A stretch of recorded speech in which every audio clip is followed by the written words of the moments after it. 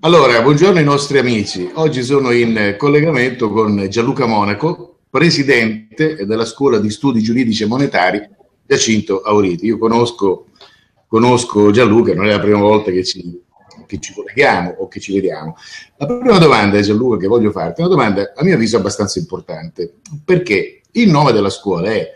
Scuola di Studi Giuridici e Monetari. Cos'hanno, due, cos'hanno in comune queste due, queste due discipline così apparentemente diverse? Come mai come dire, inserire tutte e due queste parole all'interno del nome della scuola? Beh, innanzitutto perché la moneta è eh, prevalentemente una questione eh, giuridica prima che economica, in quanto è eh, uno strumento convenzionale, legiferato, e quindi nasce prima dalla legge dello Stato che eh, decide il tipo di moneta da utilizzare e poi eh, il tutto, ehm, la circolazione della moneta attiene invece alla materia economica, cosa che aveva eh, ehm, evidenziato il professor Giacinto Riti al quale noi ci rifacciamo con, con la scuola. Ah, quindi quando Auridi diceva è, un, è, una fattispecie giuridica, intendeva questo?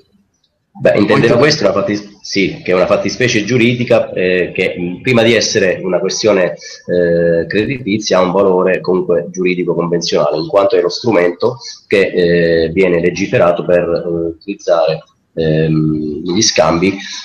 la moneta in quanto eh, bene eh, patrimonio, bene economico di contenuto patrimoniale spettante ai cittadini in quanto sono loro stessi che creano il valore di quei beni che poi vengono scambiati con la moneta. Bene, eh, la, la, cosa, la cosa un, po', un, po', particolare, io lo dico chiaramente, eh, è eh, a un certo punto qualcuno decide di fondare una, di fondare una scuola, nonostante ci sia la diffusione comunque del, dei libri Euriti, nonostante ci siano diversi, diversi programmi, eh, video di programmi che Euriti pare si era pagato, gestiti. Ecco, come mai questa, questa, la fondazione di una scuola? Quali scopi, quali scopi avete come scuola? Beh, allora, noi eh, abbiamo deciso di rifondare eh, la scuola seguendo le orme del professor Auriti eh, quando lui fondò appunto la scuola eh, di perfezionamento in studi giuridici e monetari ad Atri, che era praticamente un, un distaccamento dell'Università di Teramo dove lui aveva eh, la cattedra e presiedeva appunto la, la scuola di Atri. Eh, siamo nati nel 2013 in virtù del fatto che in questi ultimi anni eh, c'è stato un interesse notevole per quanto riguarda la tematica della sovranità monetaria una tematica che è stata sbandierata all'avvento della crisi, dell'ultima crisi, quella eh, generata dal fallimento della Lehman Brothers, che non poteva ovviamente non avere ripercussioni anche eh, in Europa. Eh, in questi ultimi anni praticamente abbiamo assistito a eh, teorie di economisti eh, che si davano praticamente il cambio in trasmissioni televisive, ognuno propinando la propria soluzione. Eh, parlando di sovranità monetaria, praticamente eh, non potevamo non intervenire eh, facendo un tipo di intervento che riguardasse soprattutto la eh, formazione sul, sull'argomento. Loro per sovranità monetaria, questi economisti eh, comunque intendono, molti di loro intendono un ritorno a quello che era il sistema monetario italiano prima del, del 1981, eh, lo identificano con la eh, scissione tra il governo e la Banca d'Italia, mentre Auriti già in tempi non sospetti, eh, decenni prima, aveva già individuato che comunque lo Stato non era, cioè i cittadini non erano eh, sovrani della propria moneta, anche se avevamo eh, le lire. Eh, praticamente con queste teorie economiche diverse diciamo, tra di loro e quindi nessuna eh, vera, ehm, queste teorie economiche stavano comunque prendendo piede stavano anche carpendo quella che era la buona fede di molti che si considerano auritiani, anche di quelli diciamo, della prima ora, dei, dei primi anni 70, perché il termine sovranità monetaria o moneta sovrana eh, ha attirato la, la, loro attenzione facendo credere con un, con un linguaggio, un tipo di comunicazione eh, ben fatta, perché sono molto specialisti in questo, eh, facendo intendere appunto che le loro soluzioni avrebbero risolto il, il problema monetario. non era così e abbiamo deciso di, eh, quindi, di mettere un puntino, eh, fer- un punto fermo quindi, eh, e decidere di intervenire. Quindi abbiamo chiamato a raccolta nel 2013 tutti eh, coloro che comunque avevano capito Auriti e, volevano proseguire con noi questo tipo di eh, controinformazione, eh, creando dei nuclei territoriali dove ognuno sul proprio territorio, sulla propria località, eh, può fare dei convegni, può eh, fare formazione in tal proposito, ma prima deve essere formato anche e soprattutto da un punto di vista dialettico e comunicativo eh, dalla scuola. Noi non abbiamo alcuna intenzione di, di mettere l'etichetta eh, di auritiano a chi non fa parte della scuola, ci mancherebbe altro. Intendiamo eh, però dare gli strumenti eh, di conoscenza eh, alle persone che si sono avvicinate al tema e che in questi anni hanno conosciuto Auriti, dare anche questi strumenti a coloro che si sono sempre ritenuti auritiani ma che forse non hanno capito fino in fondo il pensiero eh, di Auriti a 360 gradi, ma anche nelle sue eh, anche nella filosofia eh, di Auriti, anche nella filosofia del, del, pensiero giuridico e anche nelle sue eh, proposte di legge. Molti non hanno neanche capito come eh, sarebbe dovuta avvenire la fase di emissione e circolazione del progetto di moneta eh, auritiano e di conseguenza questi sono gli strumenti che noi intendiamo adottare con cicli di formazione, eh, soprattutto anche di formazione comunicativa e di dialettica, perché con le parole ci si può eh, giocare benissimo e con le parole si possono anche eh, portare le persone in, in confusione. Quindi mi pare di capire che questa scuola è nata per fare un po' di chiarezza eh, sul pensiero eh, di Auriti eh, e poi fare anche della formazione. Tutto questo mi pare di capire, ma credo di averlo letto anche da un numero di quarto potere, mi pare il numero zero, che in sì. effetti, dato l'interesse che c'è eh, ormai verso, questa, verso, queste materie, verso questa disciplina, data anche la situazione che stiamo, che stiamo vivendo, eh, si è creata un po' di confusione. Già, per esempio, tu accennavi alla, alla differenza che c'è tra sovranità monetaria e moneta sovrana. Qualcuno sostiene, mi pare, eh, mi pare sostenga che gli Stati Uniti hanno la sovranità monetaria, mentre la cosa invece non è assolutamente così. Ehm, però poi l'hanno girata in moneta sovrana, insomma fanno un po', fanno un po di confusione. Eh, qualcuno sempre, questo lo dico io perché mi sono, mi sono guardato queste cose e grazie a Dio avevo un po' di, di, di, di, formazione solida su queste cose, quindi non ci sono caduto. Mi parlo di, parlo di qualcuno che ha fatto un sacco di convegni, un sacco di, conferenze, eh, è stato ospite molte volte in televisione, che insomma ha fatto un po' di sì, sono, nate, sono, nate, sono nate delle associazioni, dei movimenti di teoria economica che comunque rispecchiano eh, un qualcosa di già visto, tant'è che si chiamano Mm, teorie monetarie moderne oppure neokenesiane, quindi un qualcosa di già visto, ma anche altre eh, tipologie di teorie, tipo quella austriaca, ehm, ha cercato di eh, prendere il suo spazio mediatico. Eh, diciamo che al 98% la battuta che facciamo sempre, eh, se non si capisce eh, che la moneta nasce prima per convenzione eh, e poi è mh, viene messa in circolazione e diventa un titolo eh, di credito o diventa praticamente un, un, uno strumento di eh, debito o di credito, ma non debito essa stessa. Quindi se non si capisce che c'è prima la legislazione, quindi c'è prima l'aspetto giuridico e poi quello eh, creditizio, quello monetario, eh, non se ne esce fuori. Diciamo che le teorie economiche, la battuta, come dicevo, che facciamo sempre, e che si avvicinano per il 98% a quello che diciamo noi, perché non è, per Auriti non era importante poi la, eh, la circolazione eh, della moneta una volta che eh, fosse stata dichiarata di proprietà del portatore. Quella è una materia che la circolazione attiene al, all'ambito dell'economia, di conseguenza applicare alcune teorie economiche dopo che eh, la proprietà della moneta sia stata dichiarata del portatore all'emissione, eh, se si sbaglia teoria eh, i danni non, non, si fanno perché comunque la moneta non è gravata da debito, non ci sono garanzie eh, e non ci sono interessi all'emissione. È un aspetto che riguarda poi i rapporti sociali tra, eh, tra i possessori della moneta. Tutti possono prestare tranne chi emette. Mi pare, dicevamo, mi pare Gianluca che ehm, come dire, eh, il principio chiave sia se la moneta viene messa a debito oppure no. E, e questo è il concetto, giusto? Quindi la moneta non deve essere emessa a debito, ma deve essere accreditata al popolo. Certamente, questo è il principio fondante perché è, è come se il creatore della ricchezza, dei valori, eh, si facesse prestare la moneta per i valori che lui produce e di conseguenza si fa espropriare automaticamente, considerando, considerando poi come avviene l'emissione e come avviene il calcolo eh, degli interessi sul, sui titoli. Eh, nella storia secolare del, dell'emissione monetaria del prestito agli stati, eh, ormai abbiamo raggiunto dei livelli di, di debito eh, gestiti da, possiamo chiamarle dinastie bancarie,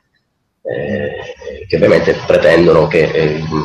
tutta questa massa monetaria sia privata, sia loro, e di conseguenza c'è l'accentramento, stiamo vivendo l'accentramento di, di tutti i sistemi eh, bancari delle nazionali.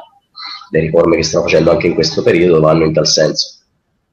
Ecco Gianluca, eh, quali, su, su, che cos'altro eh, c'è, c'è, secondo te eh, secondo voi, della scuola confusione in questo periodo. Io, per esempio, ehm, ho, ho, assistito ad una, ad una diretta eh, fatta da, da Mandarà, che stimo tantissimo, e c'era Saba, che ritengo una persona assolutamente preparata, sta facendo un gran lavoro, ha avuto il coraggio addirittura di presentarsi ehm, all'assemblea degli azionisti delle banche. E mh, comunque Saba in quel contesto diceva qualcosa e, ehm, e tu mi pare che attraverso la chat eh, sostenevi una cosa un po' diversa. Ecco, qual era l'argomento? e eh, magari in che cosa c'era questa divergenza fra te e Saba? Bah, eh, io in quella puntata con Salvo Mandarà ho fatto presente che in quella puntata c'erano sia Marco Saba che Marino Valentini, che è l'ex direttore Carichieti, eh, che ha avuto una crisi di coscienza e anni fa, in tempi non sospetti, si è dimesso. Bene, anche con lui, che comunque voglio dire, eh, a base di tecnica bancaria, eh, avevamo discusso di questa proposta che sta portando avanti Marco Sapa. Mm, porta avanti una proposta basata su una, diciamo, una teoria di Werner, eh, che praticamente riguarda eh, la, eh, il reflusso monetario praticamente quando la banca rientra in, in possesso della parte di capitale eh, che ha prestato. E, analizzando per logica mh, che, eh, quella che è la proposta, eh, ci sembra praticamente innanzitutto assurdo che eh, si debba contabilizzare la moneta che, la quota capitale di moneta che rientra eh, in banca in quanto va a, ad annullarsi contabilmente con con gli attivi della banca, con i crediti della, della banca. Quindi di conseguenza eh, i debiti del cliente rientrando vanno ad, ad annullare i, i, crediti della banca, perché la banca ovviamente ha eh, la funzione di fare eh, lucro sul, sugli interessi. E in secondo luogo, mh, pur se, fosse, se passasse questa, questa proposta, questa linea, questa visione di eh, contabilizzazione, eh, a quel punto le banche, eh, alle banche verrebbe riconosciuta la proprietà della moneta all'emissione, eh, quindi eh, tutta la battaglia che si sta facendo, eh, che stiamo proseguendo noi, ma che ha fatto Auriti in questi ultimi 40 anni, eh, praticamente verrebbe meno perché a quel punto, mi dispiace dirlo anche per Marco che è uno studioso molto preparato, soprattutto anche su Auriti ha fatto determinate ricerche, a quel punto praticamente una, è inutile fare più battaglie perché gli viene riconosciuta praticamente la proprietà della moneta eh, alle banche eh, già sin dall'atto dell'emissione del prestito. E secondo loro, secondo Saba, secondo me renderebbe tassata questa, questa quota di capitale eh, al 30%. Praticamente le banche potrebbero non più eh, aver bisogno di lucrare sugli interessi, ma mh, prestare semplicemente a tasso zero eh, per un periodo di tempo brevissimo, qualche giorno, ad un'azienda eh, a loro amica, una cifra di un milione di euro, farsela restituire a tasso zero dopo tre giorni, farsi restituire questo milione di euro e praticamente trovarsi come nuovo capitale eh, questo milione di euro per il quale pagherebbe soltanto il 30% allo Stato come tassa e il 70% invece, quindi 700 milioni di euro, 700 mila euro, si ritroverebbero come nuovo capitale da dividere tra gli azionisti. Ed è praticamente quello che Saba ha proposto anche nelle varie assemblee degli azionisti delle banche in cui ha partecipato. Lui ha detto agli azionisti che guardate che i consigli di amministrazione vi stanno facendo del falso bilancio e a voi spetterebbe un utile molto maggiore e quindi un dividendo molto maggiore. Ora, Scusa, questa... no, sono argomenti un po', un po tecnici, no? Mm, eh, probabilmente ci vorrebbe una lavagnetta, uno schema, un qualcosa per renderla più sì. chiara, ma vediamo se ho capito. Tu stai dicendo... Sulla base della proposta eh, che c'è la Saba, la proposta di Saba riguarda il modo in cui vengono, vengono iscritte, cioè il modo in cui si fanno le scritture contabili. Sì. Oh. Nel, modo, nel modo attuale le banche occultano, giusto? Ma secondo quello che dice lui, sì. Ok, e la proposta di significa, sotto certi aspetti, rendere, rendere invece visibile ciò che viene ciò che, viene, mh, ciò che viene attualmente occultato, ma facendo in questo modo, dici tu, noi andiamo praticamente quasi a legalizzare e quindi a eh, ufficialmente riconoscere la proprietà eh, della moneta da parte della banca. Quindi sarebbe un autogol da, da, da, da diversi punti di vista. Un po' eh, questo chiar- chiar- chiaramente sì, chiar- chiaramente sì, chiaramente sì, anche perché eh, nel momento in cui la banca eh, emette un prestito, mette a bilancio, quindi diciamo, mette in passivo il, il controvalore del prestito, eh, all'attivo mette il controvalore dei, dei crediti e delle garanzie. Il falso in bilancio io credo che vada ricercato, come disse appunto in quella puntata Marino Valentini, vada ricercato eh, altrove in altri tipi di strumenti di contabilizzazione, ehm, in altre voci di contabilizzazione e tant'è che Basilea 3, gli accordi interbancari di Basilea 3 eh, hanno rimarcato proprio questo, quindi diciamo le banche adesso devono mettere in bilancio negli attivi il reale valore degli attivi. Faccio un piccolo esempio, quanto, quando si chiede un mutuo per l'acquisto di una casa di 200.000 euro, la banca eroga i 200.000 euro e nell'attivo tra eh, le garanzie va a mettere il valore dell'ipoteca che è del doppio, 400.000 euro. Quindi questo valore a garanzia di 400.000 euro viene poi rivenduto dalle banche per farsi anticipare i soldi a sconto da, uh, dal sistema bancario. Quindi vengono cattorizzate queste, questi attivi. Ma questi sono aspetti tecnici, diciamo, che riguardano la moneta eh, diciamo, bancaria. Quello che a noi riguarda eh, soprattutto il discorso della, uh, della sovranità monetaria per, per gli stati. Eh, senza diciamo, dobbiamo anche tenere presente che comunque il sistema bancario va visto come un tutt'uno e non come qualcosa di separato tra banche eh, commerciali e banche di, di, emissione, perché le masse monetarie comunque sono eh, scritturate tutte quante, sia per quanto riguarda la moneta prestata agli stati che quella prestata alle aziende e ai cittadini. Eh, eh, poi magari torniamo su questo argomento perché mi interessa eh, sapere se c'è qualche altra eh, confusione, ma poi soprattutto come possiamo arginare, arginare questa confusione, anzi come potete arginare questa confusione. Quindi ti faccio una domanda un po', un po', particolare perché questa cosa mi è arrivata, eh, mi è arrivata leggendo qua e là, eh, una delle, delle, delle, delle, accuse che vi viene fatta è ma questi sono auritiani, l'ultima ora, io non vorrei che rispondete ma intanto rispondo anch'io. Non mi risulta che sia così perché tra gli appartenenti alla scuola c'è un signore che io stimo tantissimo, sono anche amico di onore di questo, si chiama Sandro Mosca, eh, so che c'è Malaguti, un vecchio allievo di, eh, di, di Auriti, mi pare ci sia un certo. Basciani, ugualmente eh, allievo di Auriti auritiani dell'ultima ora, questo colza, colza con i fatti, insomma, quindi mi pare un'accusa del tutto infondata, sono quelle cose che vengono lanciate, probabilmente non so per quale ragione, ma direi a chi eh, vuole veramente fare qualcosa di costruttivo, se c'è qualcosa che non va, si dica chiaramente cosa non va, si parli di fatti, eh, si parli magari di teoria di, di, teoria di Auriti, piuttosto che queste cosettine poi che lasciano il tempo che trovano. Questa, questa sì. è la mia risposta. Eh, voglio dire, ho toccato con mano. Tu cosa puoi rispondere a questa Beh sì, noi abbiamo notato che c'è una sorta di,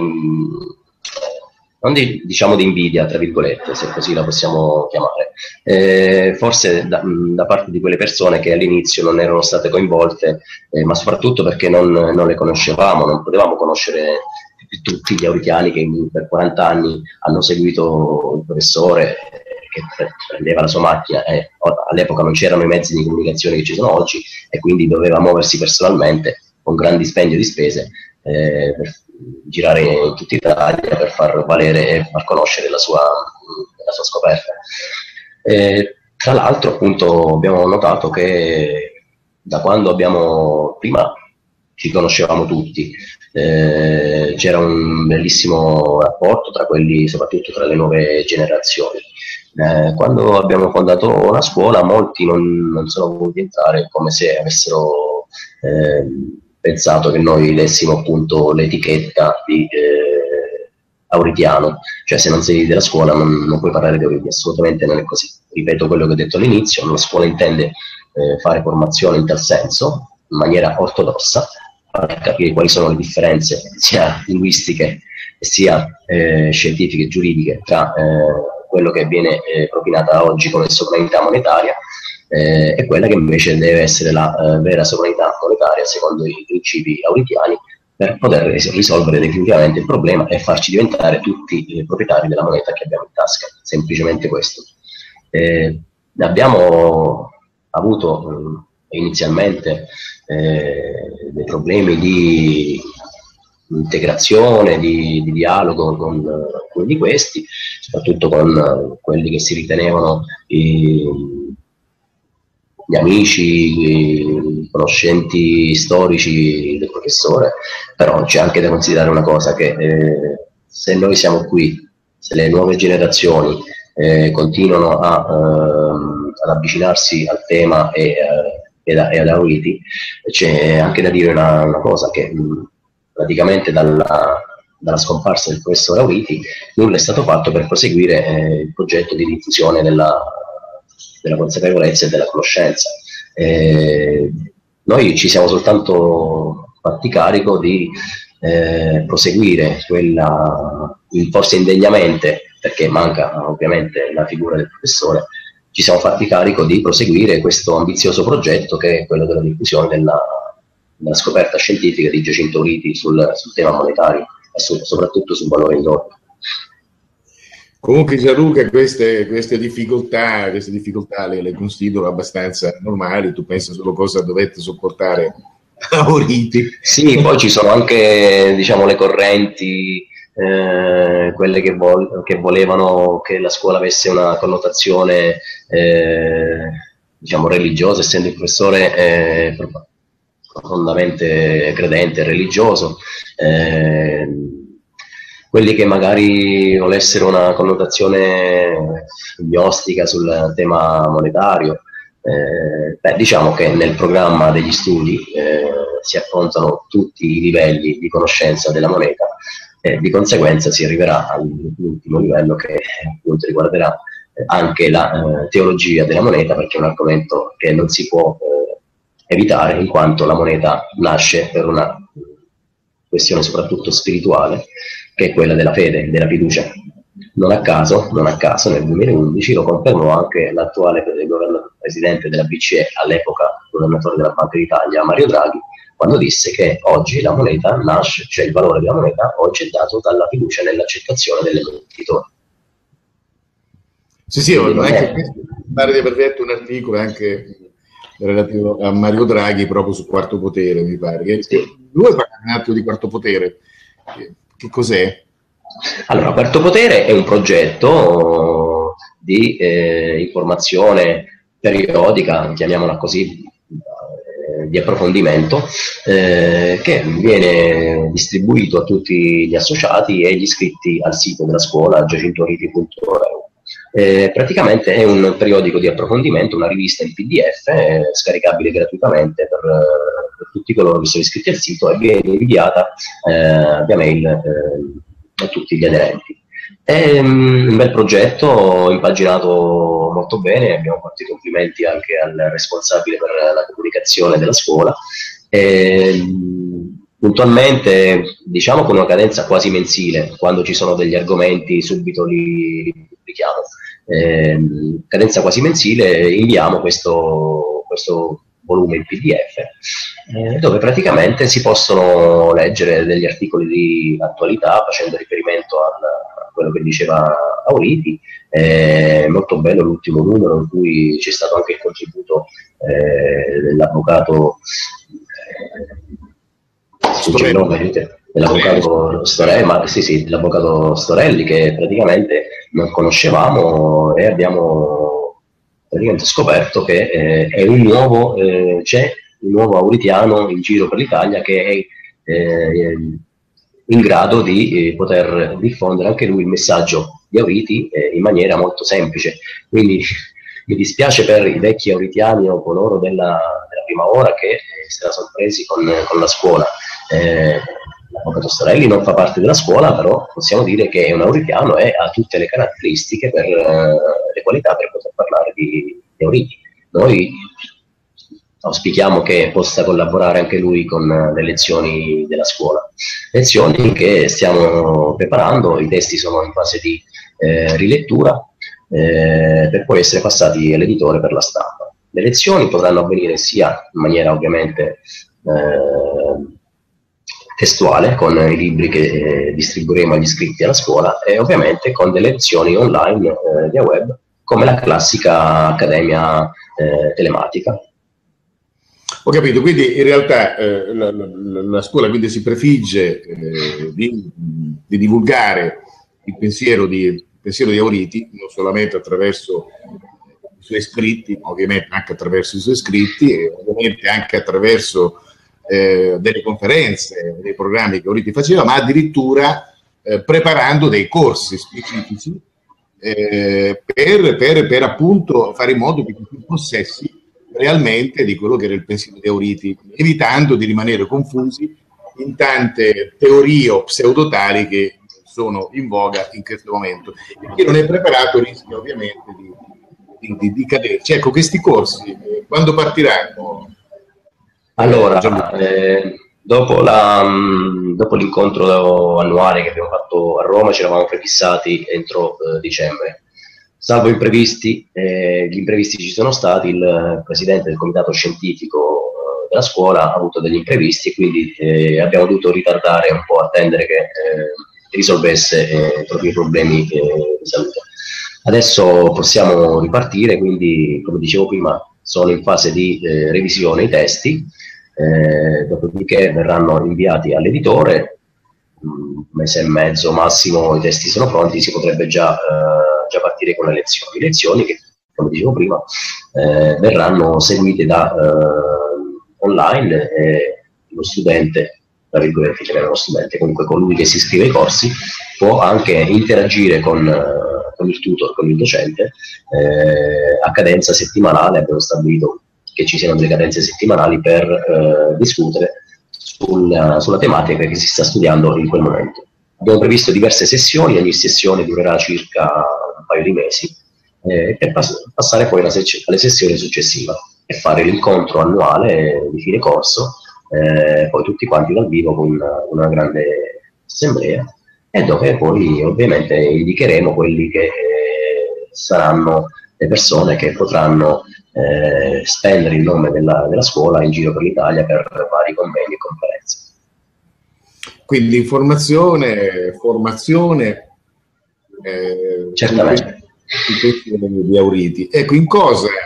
magari qualcuno ha così, della buona volontà, in che cosa si può dare una mano eh, alla scuola auritiana?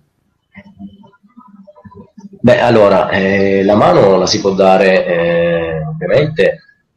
con un supporto che sia di tipo eh, di diffusione di quello che viene pubblicato sulla, sulla pagina Facebook della scuola, sulla, sul sito stesso della scuola che ripeto è giacintoriti.el, su Facebook eh, scuola Giacinto Riti. Se poi qualcuno vuol dare eh, dei contributi, chi non vuole associarsi, eh, ma vuole comunque dare un contributo economico può farlo tranquillamente con donazioni liberali, ben vengano, eh, perché ovviamente fondi non ne abbiamo, non siamo un'accademia che prende fondi pubblici, eh, non siamo una fondazione, anche se l'obiettivo sarebbe proprio quello di poter eh, diventare fondazione in modo da avere anche eh, diciamo, il peso autorevole per poter eh, entrare negli Atenei e fare dei seminari di corsi eh, di laurea su, sulle tematiche auritiane. Ci è stato proposto addirittura in questo periodo di, nei, vostri, eh, nei vostri scopi c'è anche, questo, c'è anche questa possibilità? cioè di entrare negli Atenei e poi fare... Sì, sì, sì, sì, sì. Negli, scopi, negli scopi noi eh, appunto dopo aver formato queste persone, noi le, le, persone le formiamo proprio perché non possiamo noi fisicamente spostarci eh, da una parte all'altra d'Italia anche per eh, ottimizzare ed economizzare eh, i tempi. Abbiamo previsto che eh, queste persone che usciranno formate dalla scuola eh, possano anche eh, fare dei corsi all'interno delle scuole secondarie, eh, delle, delle, università, eh, anche in accordo con docenti e titolari di, di, cattedre universitarie. Ad esempio qui a Pescara abbiamo, eh, non noi della scuola, però a Pescara c'è il professor Beraldi che già da tempo fa corsi, fa seminari su, sullo sperimento di Giacinto Riti e sulla teoria del valore indotto di, di Giacinto Riti, quindi mh, mm, non credo che sia così difficile eh, poter far entrare il pensiero ritiano eh, in queste accademie che oggi sono comunque eh, confuse perché forse non ne hanno comunque la conoscenza perché sono materie che non vengono studiate dagli economisti, eh, ma comunque sono, il pensiero aurutiano parte soprattutto dal concetto di, eh, di valore eh, della moneta, quindi la moneta prima di, essere, prima di avere, avere, valore creditizio ha eh, valore giuridico. Pescara, ad esempio, c'è in un testo del un vecchio testo di, di diritto pubblico dell'economia del professor eh, Di Plinio, eh, nella parte introduttiva Di Griglia si chiedeva proprio questo, che non era ancora ben specificata la eh, natura, l'origine della moneta, di che cosa fosse eh, e di chi fosse eh, eh la moneta all'atto della, della nascita dell'emissione. Con Auriti ovviamente oggi possiamo rispondere anche a questi, a questi docenti, quindi magari integrare i loro testi con,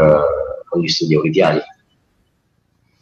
Bene, quindi mi pare, che, mi, pare, mi pare, che, lo scopo di questa scuola sia alquanto, alquanto importante, anche alquanto nobile, ma anche alquanto pratico, eh, perché man mano che andiamo avanti mi pare che la manipolazione tende a, ad aumentare un po' su tutto, utilizzando, come dici tu, eh, il linguaggio, ma non, solo, ma non solo il linguaggio, quindi per orientarsi veramente in questo marasma di informazioni, in queste tante teorie,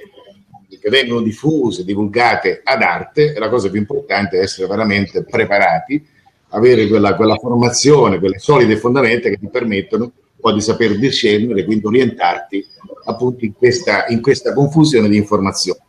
Eh, io trovo mh, veramente molto importante quello che, che state facendo, mh, sono rimasto molto, molto contento da, da, da, quando c'è stato un impulso, proprio che c'è stato un momento in cui le cose erano un po' ferme, poi mi pare che invece ci sia stato, ci sia stato un impulso, eh, vi ho seguito per questo e veramente vi auguro tutto, tutto il bene che meritate. Vuoi aggiungere qualcosa Gianluca? Beh, eh, diciamo che il principio fondamentale è diciamo, il filo rosso che, che conduce la scuola eh, in, questo periodo, è proprio questo, come dicevi tu, è quello di eh, cercare di non far distogliere l'attenzione concetti fondanti e fondamentali alla gente per quando, quando sentono parlare di, eh, di, economisti di sovranità monetaria con le loro soluzioni. Non c'è nessuna soluzione eh, definitiva eh, che non, se non su, si supporta la, eh, il concetto eh, di valore indotto della moneta, di proprietà popolare della moneta all'atto dell'emissione eh, le, le, crisi sono cicliche proprio perché il sistema monetario è basato sul credito, quindi del, sul credito già sin dall'emissione. Non facciamo qui una lezione storica di come nasce ovviamente il, il credito sulla, sulla, moneta, ma eh, risaliamo già ai tempi biblici. Eh, le, assolutamente, quindi le ultime tutte le crisi eh, si sono ripetute con la stessa, diciamo, la stessa tecnica. Eh, di conseguenza, questo perché? Perché il sistema monetario, così come concepito, è fallimentare. A periodi storici, ovviamente, il, il sistema collassa e quando collassa praticamente lascia sul terreno eh, distruzione e devastazione. Io ricordo sempre che... Copriremo la, la relazione che c'è tra, eh, tra, tra, usura, tale è, tra usura e, e, guerre, tra usura e rivoluzioni. È molto interessante poi entrare, entrare in questi argomenti perché si ha una visione veramente completa, perché parlare di moneta vuol dire veramente allargare allargare la visione e farsi un'idea eh, reale di, di, questo mondo, che mondo viviamo. Insomma.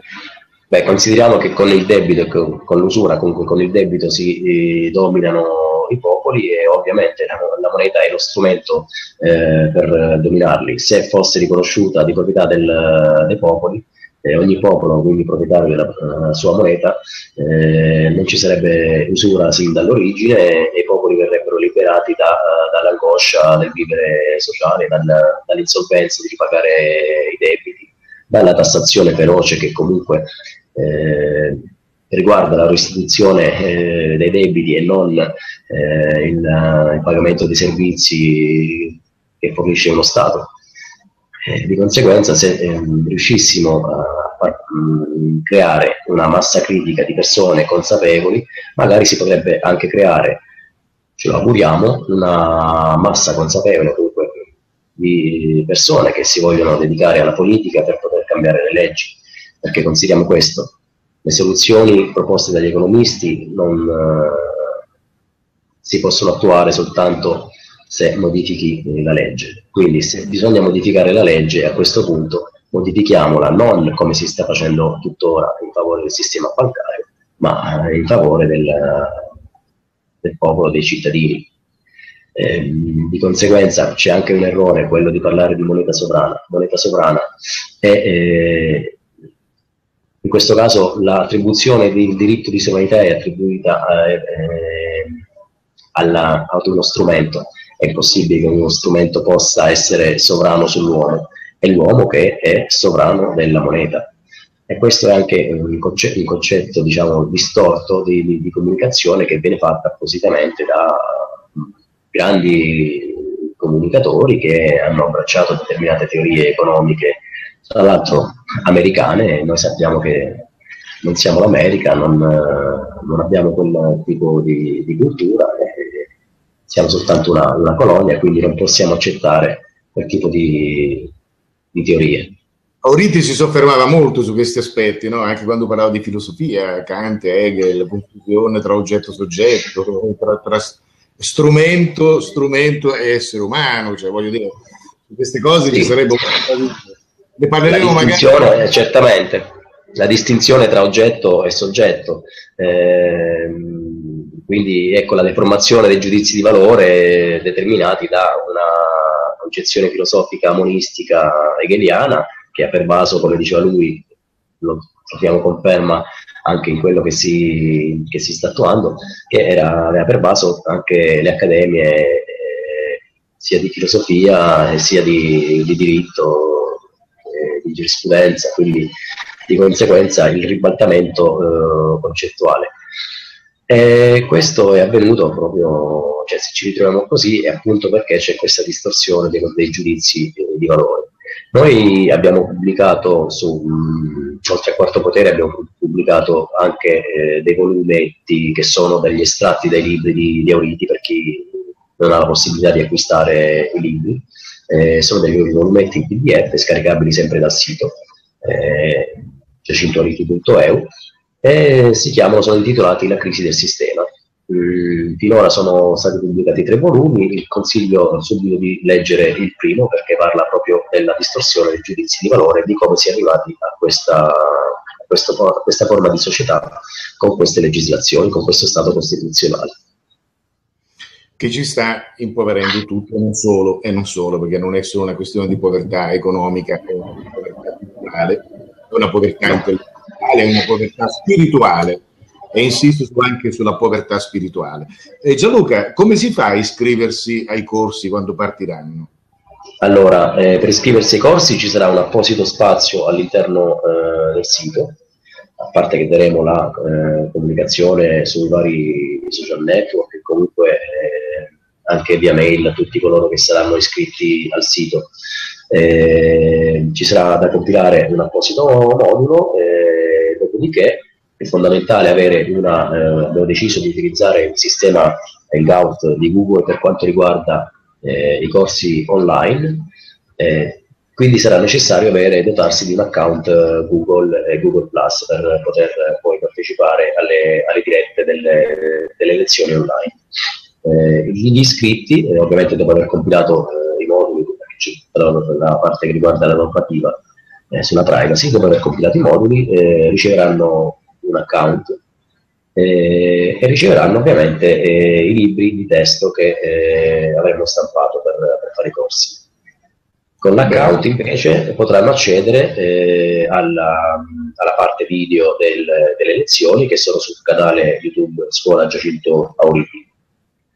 Già adesso ci sono dei video ma non sono delle lezioni. Le lezioni saranno riservate, i video delle lezioni saranno riservati soltanto a coloro che sono eh, iscritti ai corsi e ci sarà appunto una sezione dedicata eh, proprio per questo sul sito. Eh, dopodiché mh, le revisioni, comunque il supporto verrà fatto tutto online eh, e anche a livello mailing, eh, quindi il supporto da parte dei tutor eh, sarà pieno per eh, quelle quattro ore a settimana che abbiamo deciso di eh, mettere a disposizione per coloro che eh, volessero fare degli approfondimenti sul, sulla materia che stanno studiando in quel momento. Ed è semplicissimo, abbiamo utilizzato praticamente le tecniche delle varie eh, università telematiche. Quindi, eh, scusa, eh, questi corsi sono per chi già mastica un po' la materia oppure anche per per neofiti, per chi si No, no, no, i, cor- i, corsi, i corsi sono per, uh, per, tutti, i corsi sono per tutti. Ci sono più livelli, quindi a seconda del tipo di, eh, di conoscenza e di comprensione uno può iscriversi eh, al, ad un determinato livello. Diciamo che sono corsi che hanno una certa propedeuticità, quindi anche il linguaggio stesso dei, dei corsi è fatto in maniera semplice proprio per dare la possibilità eh, a tutti di poter comprendere, perché se c'è una cosa che ehm, mette in difficoltà le persone nel capire cosa avviene a livello economico e eh, legislativo è proprio la difficoltà eh, dei termini che vengono utilizzati. Su questo mi pare che lo stesso Federico Caffè, eh, se ricordo bene, disse che su, sul gioco di parole, sulle incomprensioni, eh, ci si sono fondati praticamente eh, le più grandi truffe monetarie e finanziarie. E non solo, sul, su, sulle parole eh, si sta lavorando a tutti i livelli e il libro di Orwell mi pare sia quanto, quanto più attuale possibile. Allora Gianluca, mm, grazie per questa, per questa chiacchierata così interessante. Grazie a te Elia. È stato molto importante capire quali sono gli scopi di questa scuola, ma soprattutto perché eh, questa scuola è nata e a me piace ridirlo, c'è parecchia confusione in giro, eh, non è casuale, in alcuni casi diciamo che è casuale, in altri casi probabilmente non lo è, quindi è importante che qualcuno porti avanti con serietà e con competenza il pensiero di Auriti, e, e, organizzando appunto questi, questi corsi, pubblicando, pubblicando il termine grosso, ma comunque eh, poi realizzando in PDF una, una, una, un bollettino che viene inviato a chiunque ne faccia richiesta o agli iscritti, mi pare che ci sia, che ci sia parecchio, parecchie, parecchie cose importanti. Eh, io invito qualcuno, magari eh, se a dare una mano in qualche modo, magari contattando direttamente, tu sei, tu sei disponibile, la scuola è molto disponibile e mi auguro magari in un prossimo futuro di poter già parlare di questi corsi, eh, dell'esito dei corsi, di come sono andati, eccetera, eccetera, e di parlare magari di altre iniziative che la scuola sta portando avanti. Io ti, sì, in questo periodo tra l'altro stiamo programmando, eh, abbiamo richieste di, di, convegni da più parti d'Italia, quindi stiamo programmando, stiamo calendarizzando eh, gli appuntamenti. Se qualcuno avesse intenzione di organizzare degli incontri eh, sulla propria città, eh, va sul sito giacintooriti.eu, eh, scrive direttamente nella sezione contatti alla segreteria, manda una mail eh, dicendo che cosa vuole organizzare e. E noi siamo ben disponibili a, ad essere presenti e dare una mano per la, la diffusione. L'importante è far capire questo, cioè noi siamo nati per eh, dire basta alla confusione eh, dilagante. Siamo stanchi di essere presi in giro sia dal, dal sistema eh, bancario che eh, detta le leggi al sistema eh, politico e soprattutto siamo stanchi di essere presi in giro anche da, eh, dai nuovi pifferai economisti che hanno la, ognuno ha la propria soluzione, ognuno ragiona per compartimenti stagni e di conseguenza ehm, nessuno ha la soluzione in mano. Non si può avere la soluzione se non si parte dal principio giuridico di valore della moneta. Sì. Il punto chiave, il punto chiave è questo. Vabbè, ti ringrazio ancora e alla prossima, e alla prossima occasione e in bocca al lupo per tutto, ovviamente. Vabbè, grazie e visto che ci siamo, buon inizio di anno a tutti quanti. Ciao Elia. Ciao, grazie, grazie.